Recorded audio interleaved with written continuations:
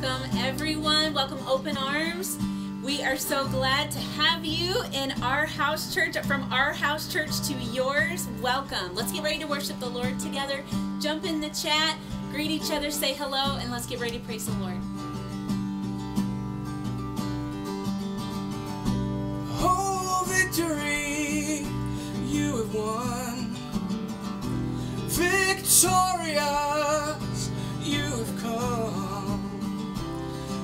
was stolen, you brought back to us. Let's sing that again. Oh, victory, you have won. Victorious, you have come. What was stolen, you brought back to us.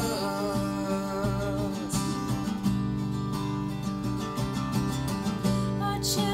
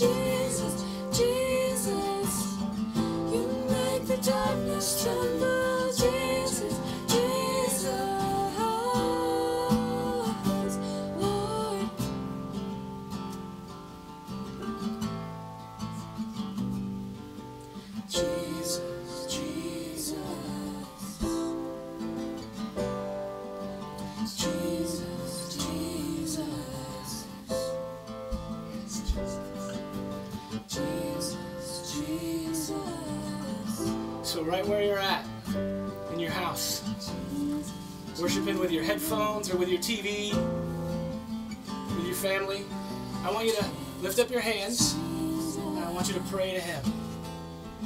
I want you to call on that name because this is what I know. I know that no storm, no virus, no economic hardship is something that God is unfamiliar with or something that God doesn't know how to help us through. God is on the throne. His promises are still good and His promises are still true. And right now we can call on Him and we can trust Him. And so, right now, in hundreds, thousands of places all over this country, actually, you are worshiping with us. You are saying, Jesus,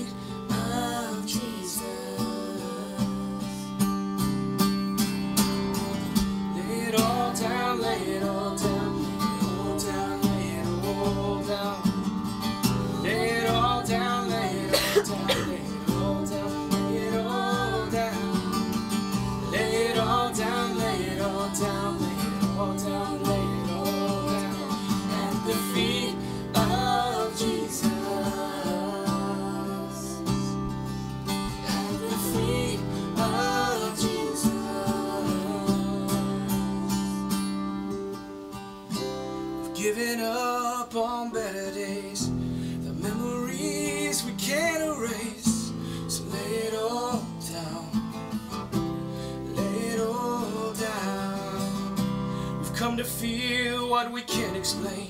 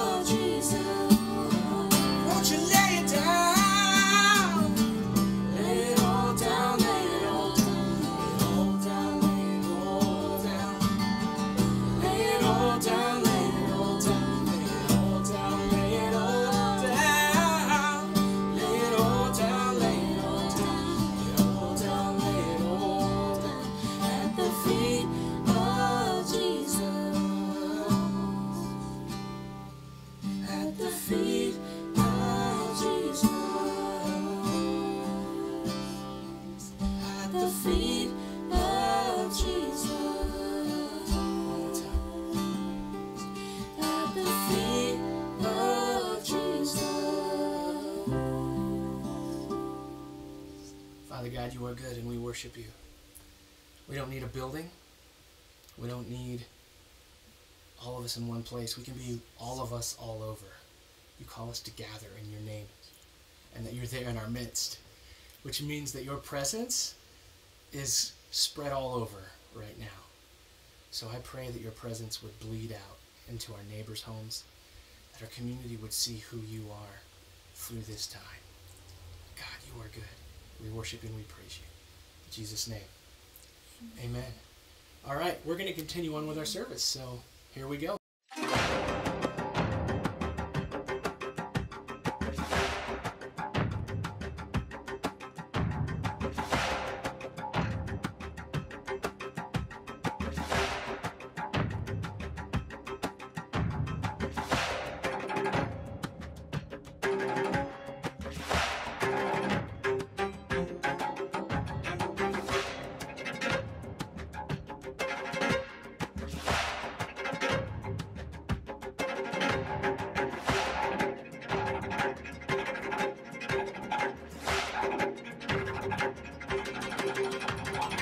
Welcome. Rags to Riches Part 6. Welcome to my living room. So it was it was great to worship with you a little bit ago and and now to to get to have our house church um, be greeting your house church in your living room. Um, things are very different last week to this week and and that almost feels like um, the way that things have been going, the the world is just shifting and shifting, and every week is looks a little bit different than the last, and um, and it may feel like that, like like we're on shifting sand and there's no safety net. That, um, but but to know that our solid ground is found in Christ, our our safety is in in His Word and in the principles of His Word. And one of those principles is giving and honoring Him with our wealth. And we were going to be digging into that anyway. At the end of this series, um, a while ago, when these messages were planned, we were going to be wrapping up with how giving brings abundance into our lives. And, um, and I can see that God wants to use that now more than ever. Um, that it is, uh, God knew what we needed, of course. So, um, so let's go ahead and, and dig into that today. Um, giving uh, the first 10% of our income, that's called a tithe. And, um, and it's a principle that giving Him our first fruits, everything that we have is His. And it's that 10% that we're just returning that back to Him and honoring Him, putting Him first in our finances. And tithing isn't being generous, okay? It's just being obedient. It's just um, Him allowing us to steward the other 90%. And our obedience is, is returning that to Him. So it's when we decide to give over and above the tithe, that's where generosity, true generosity, comes into play here. Um, so since we've got married, um, we we had decided to tithe. We knew that it was a principle that that bring blessing into our lives, and um, and it did. There were many many times that that we would give, and we could not explain what God did in our lives and how He provided in our our provided for our needs. And sometimes it made no logical sense for us to give with what we had or, or with our income the way that it was but we decided to trust god anyway and to to give anyway. And every single time he showed up he provided he met every need that we had and sometimes to the very penny of what we needed and it shouldn't have surprised us but many times it did um, we lived this way for many years it it was a blessing to us, to our kids as well, to see his faithful hand, his sometimes creative ways um, that he would meet our needs and provide for us. Um, sometimes it would be someone sending venison uh, to fill our freezer when we had run out of meat and things to eat. Um, and we've lived on a lot of venison, and it's a blessing.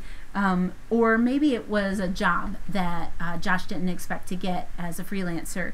Um, but just all the time, His faithful hand providing for us, making a way when we didn't see a way. Um, we would help people when when they need a hand or um, uh, reach out and and try to bless when we could and share what we did have. But we never really felt like we could be that true generous um, people who who would just bless over and above. We wanted to, um, but the numbers were not adding up. We would count ourselves out as being able to be true givers, the the generous ones that are able to give over and above.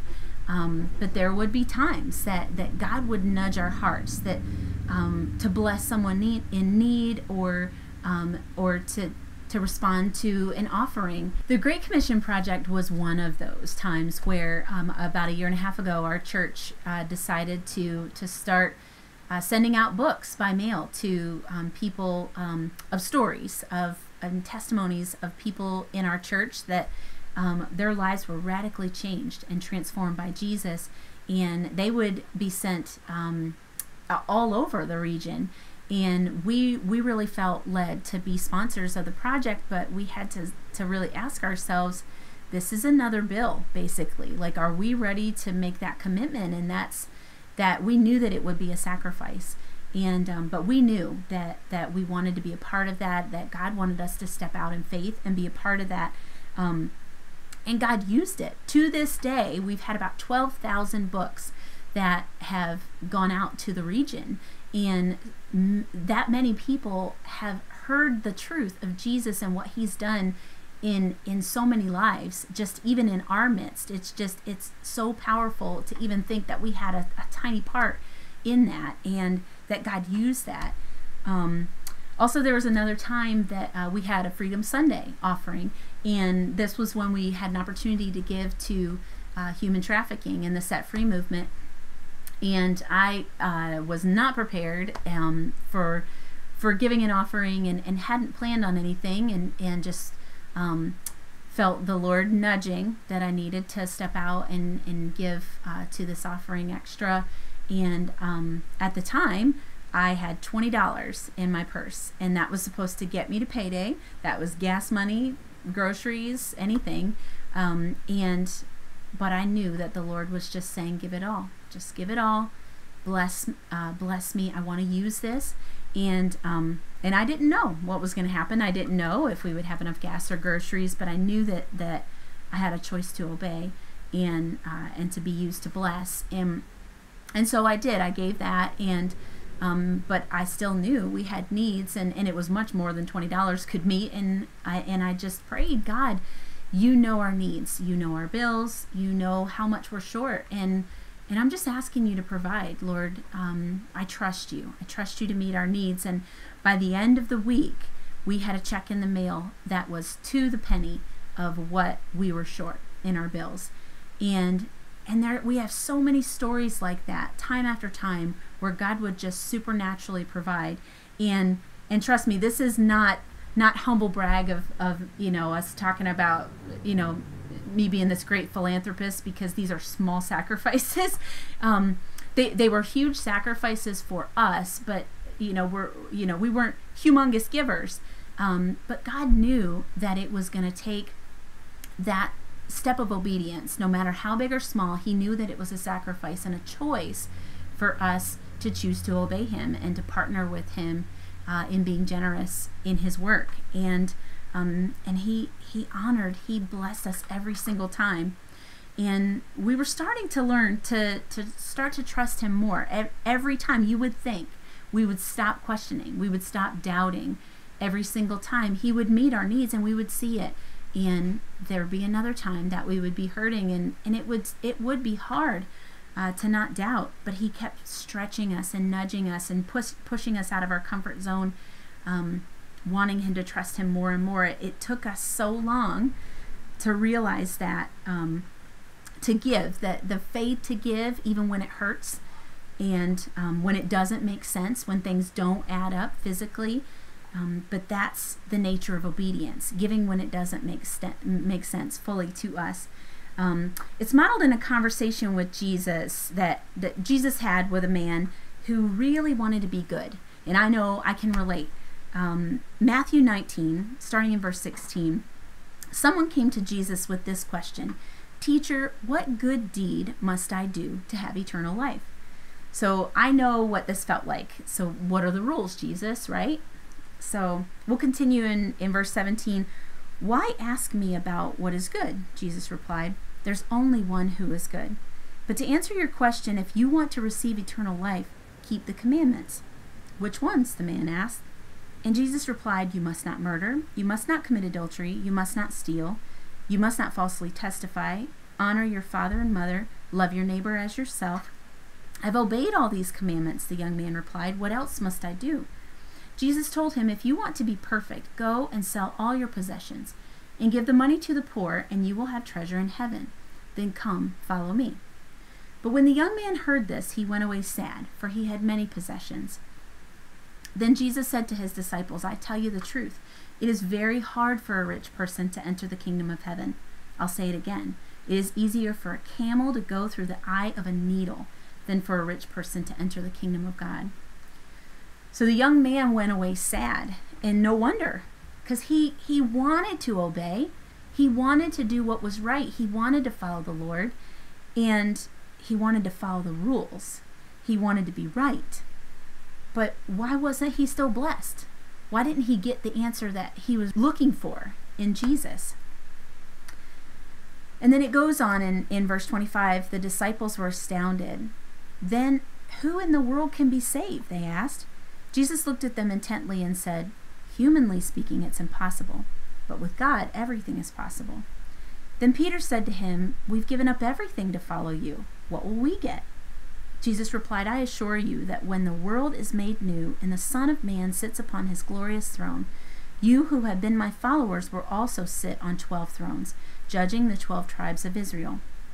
And everyone who has given up houses or brothers or sisters, or father or mother or children or property for my sake will receive a hundred times as much in return and will inherit eternal life. But many who are the greatest now will be least important then, and those who seem least important now will be the greatest then. And I understand the disciples too. When we were struggling, still it was difficult to not get frustrated in the midst of the struggle. God, we're serving you. I would I would ask him, you know, we're giving. Why are we not seeing the abundance that that is coming from from the giving? And you know, don't you know what we've given up for you to follow you? But in the end it was we we or I I. You know, we had a blessed life. We were very grateful, but we were still preoccupied with our money. It was what we didn't have, the lack in what we needed. Okay, what was our focus on? Our focus was it on God's abundance, His ability to meet our needs and how He always has, or on our lack and frustration? So it's not saying, this passage is not saying that being rich is evil or that it will prevent us from getting into heaven. You know, the, the young man was, was looking to do the right thing and to get into heaven. But if our money owns us, if our heart, our mindset, our focus, everything within us, okay, is is it turned towards our money, towards our our abundance or lack, or is it becoming our God? No matter how little or how much we have, um, it becomes your God when you focus on it. When all of your mind is set on it, all of your your intention, your heart is set on your little or your much. Could you walk away from it if he told you to? Could could Jesus have your whole heart? Do you would you follow him if he said go? Or is your money calling the shots at the end of the day? Do our possessions, do our things or the lack thereof have us in a stranglehold? So is your money owning you or does it serve you? Money is a tool. It does serve us. It's not the other way around. We are its master. If our master is Christ, we serve him only. And he knew that the disciples left everything to follow him. He recognized that. He was pointing out that not everyone is going to do that. It's going to be very difficult for people to do that. He was acknowledging that.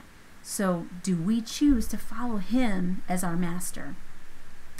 He said it this way in Luke chapter 16, starting with verse 9. Here's the lesson use your worldly resources to benefit others and make friends. Then, when your possessions are gone, they will welcome you into an eternal home. If you are faithful in little things, you will be faithful in large ones. But if you are dishonest in little things, you won't be honest with greater responsibilities. And if you are untrustworthy about worldly wealth, who will trust you with true riches of heaven? And if you are not faithful with other people's things, why should you be trusted with things of your own? No one can serve two masters, for you will hate the one and love the other. You will be devoted to one and despise the other.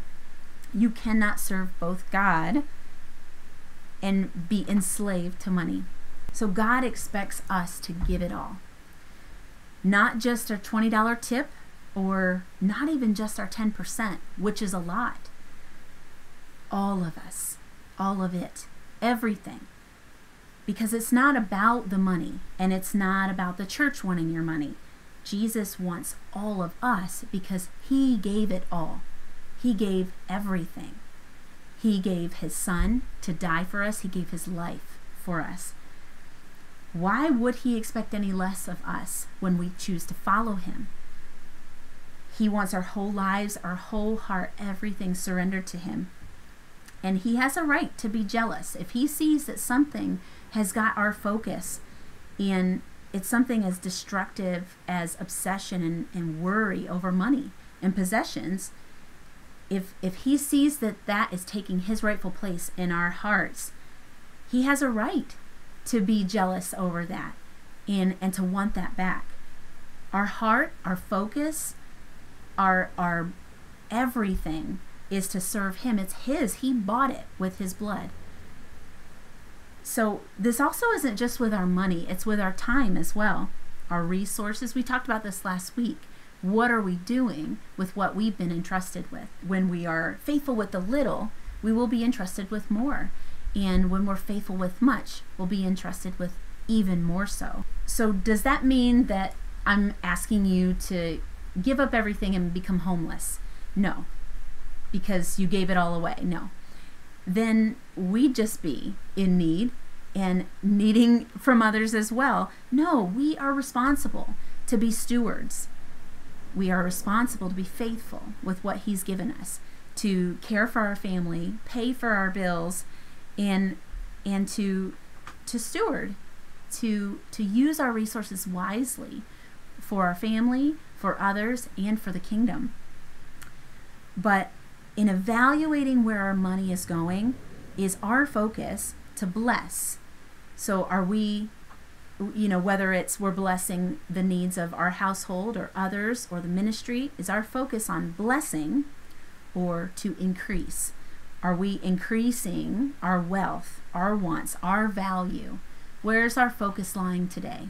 On blessing or just growing larger and increasing this quote from Stephen King I found interesting. Yes, it's the Stephen King you may be thinking of. I think it sums this all up very well. One thing you're not going to do with it is take it with you. And he's speaking of our wealth. When you come in naked and we come in naked and broke, and we're going out broke. Should you give away what you have? Of course you should. I want you to consider making your lives one long gift to others, and why not? All the other stuff you have is just on loan. All that lasts in this world is what you pass on. The rest is smoke and mirrors.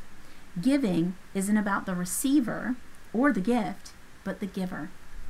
Giving is a way of taking the focus off the money we make and putting it back where it belongs on the lives we lead, the families we raise, and the communities that nurture us.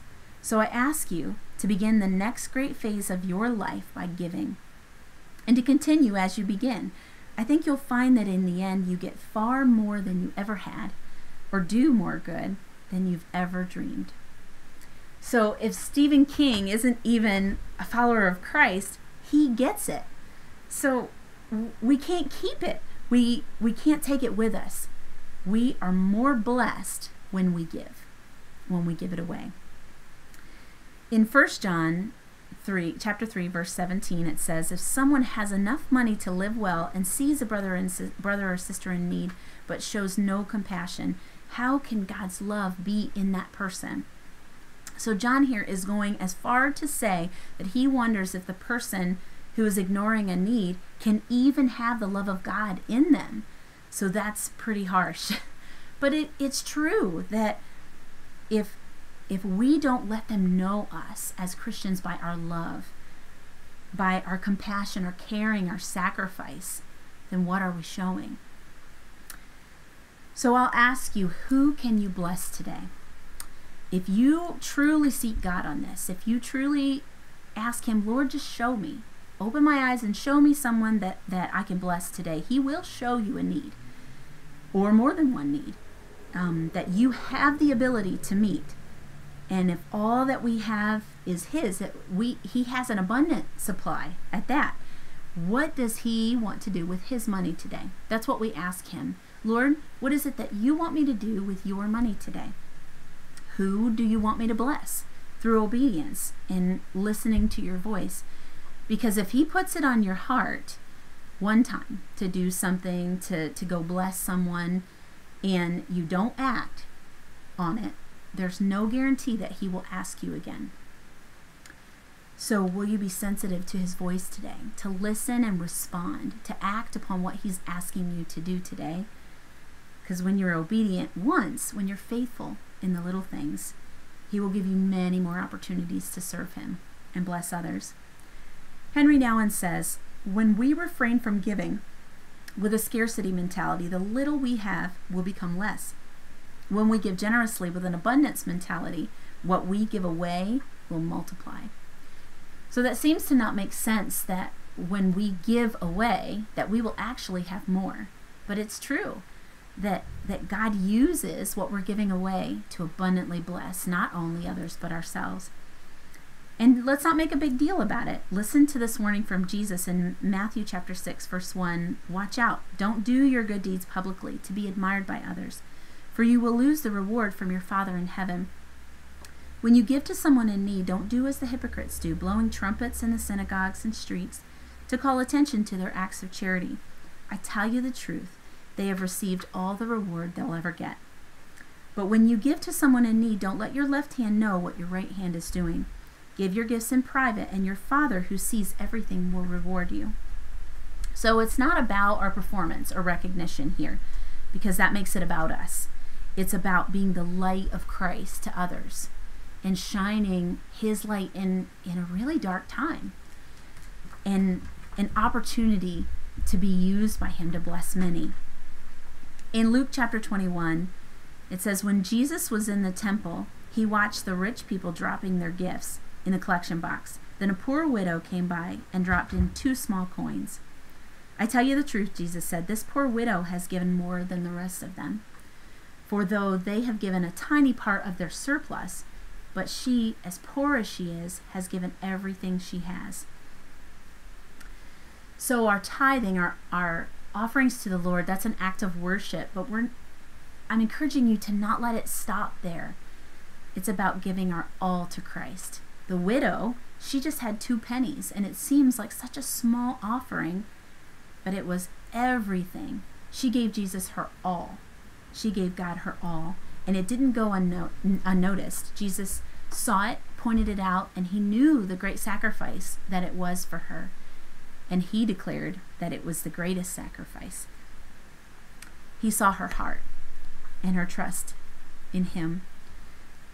So I know that there's there's uncertainty in these times right now. Many have have lost their jobs and and it is uncertain times that we're living in, but it doesn't go unnoticed by God.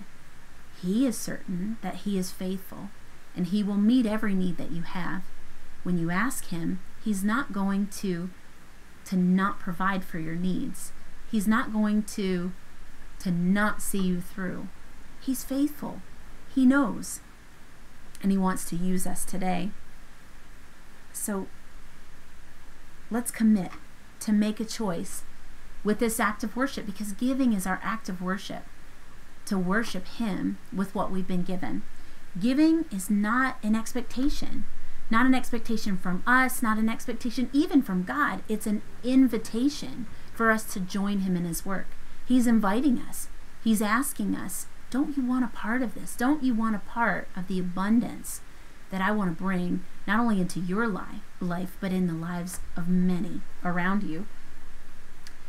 So let's let's prepare to pray for our offering, and, and below you will see um, a slide that shows you other ways to give um, to us um, through you know online giving and, and through our app as well. But I encourage you over and above, let's just abundantly bless today. There are so many charities as well, locally even. Um, destinations, Bright Alternatives, the Friendship Table are, are just a few, just a few that, that we can continue um, to not let our giving stop at the church where, where we know in obedience we, we will give and, and we will bless the Lord's work in our midst in open arms and, and see many people reached with, with his truth and in outreach and, and things that, that meet their needs. But there are many other ways that we can continue to be generous over and above. So I encourage you to, to reach out and support these ministries as well. And many are, are going through a hard time in this season. And and they still want to be able to meet and bless many that have needs during this time as well. So I encourage you to be generous. So let's pray and bless this offering today. Father, we just thank you so much for the ability that we have, the invitation that you give us to join you in your work. With our, our wealth, with our resources, Lord, you have chosen to entrust us with them to so that we may steward them and just just bring blessing in return for your kingdom. So Lord, I pray that that we would abundantly give back to you what belongs to you. But Lord, also that we would just generously over and above just so many, many seeds of blessing in the lives of others in our community, those who may be hurting, other charities and people who who are trying to help and, and just need more resources, Lord. If you're nudging our hearts today to do that and, and bless others, Lord, I pray that in every way we would follow you and answer that call to be obedient. We thank you and we praise you in Jesus' name. Amen.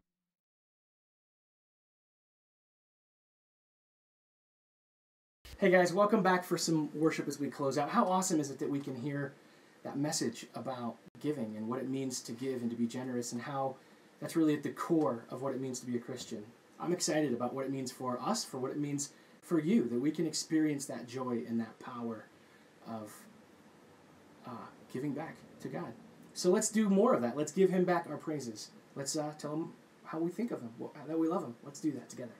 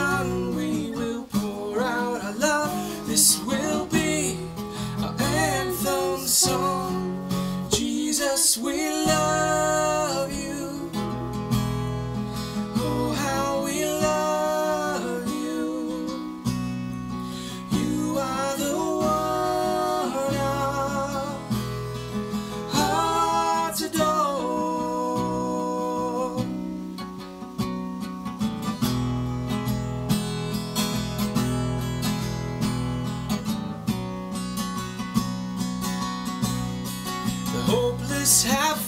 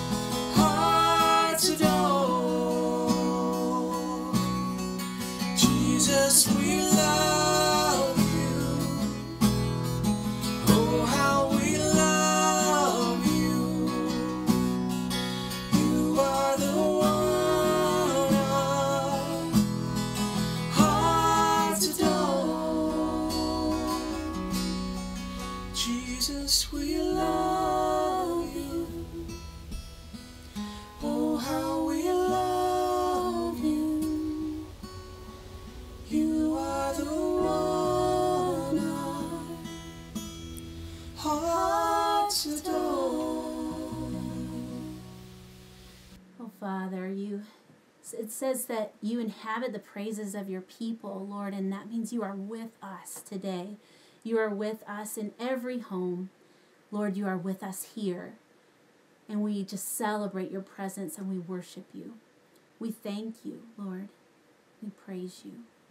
In Jesus' name. So, thank you so much for joining us this morning from our home to yours. We hope that it was just such a blessing to you to worship with us. We know that it was a blessing for us today. And um, just a couple reminders below is a link for our connection card. So please fill one of those out so we can follow up with you about your experience today. Also, if you're using our app, um, to follow up with a prayer request or put put your prayer request in the chat. We would really love to know how we can be praying for you this week and any needs that you may have. Please let us know. And um, and also, there's an opportunity for you to sign up for devotionals. So if you uh, want some a little bit extra encouragement in this season, uh, there's a link in the chat. You can click to sign up to receive some devotionals from our staff in your email. Um, just just some encouragement for this season. So we are just so grateful to have you with us this week. Please, next week, join us. Easter. It's going to be so exciting to be able to celebrate together the resurrection of our Lord with you in your house churches. So please share and invite your friends and family. Um, have those watch parties and comment. Connect with your friends this week. Think of a few um, family or friends or even people that you might not even know very well um, to reach out to and just encourage them, check on them, see how they're doing this week. And uh, we're in this together. We know that God's got us and He's going to see us through this time until we are back together again. So thank you and have a great week.